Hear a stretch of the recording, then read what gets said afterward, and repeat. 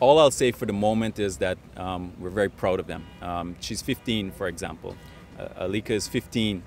Um, she is the one of many, uh, but for all of our athletes, for them to go and, and you know, showcase our country and, and fly our flag with such pride, I think all of Guyana should unify on the voice of just being proud of our athletes. And, and I've said this publicly that internally we, we're going to have our disputes.